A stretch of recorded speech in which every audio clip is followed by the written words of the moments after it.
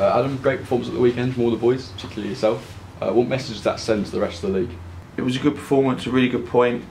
Um, albeit we were a little bit disappointed having come so close to getting all three. Um, it sends a message that we, we have.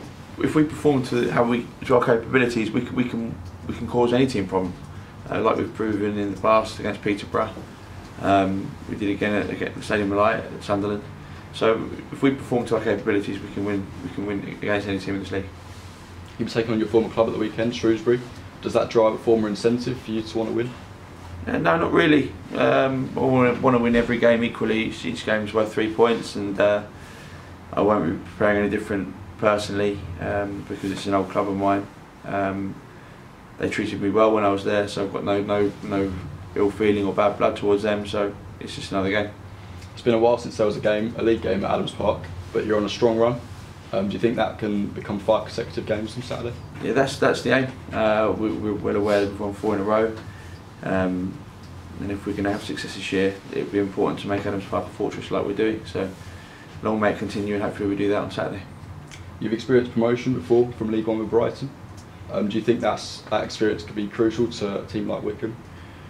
You call on all your experiences throughout your career, really, not just that that experience. Um, but this, I can say, this is uh, really a really good group to be part of, and uh, um, it's got bags of talent, bags of char- bags of character, and um, we've got uh, a great environment, like Alex said before, and a great uh, you know, work ethic. You know, and if you've got all those ingredients, um, we have everything to have success and achieve what we want to achieve.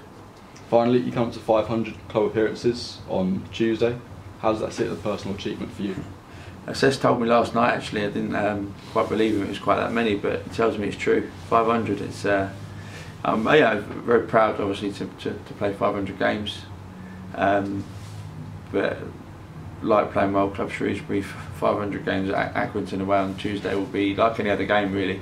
But um, yeah, no, it's a, a proud milestone to hit.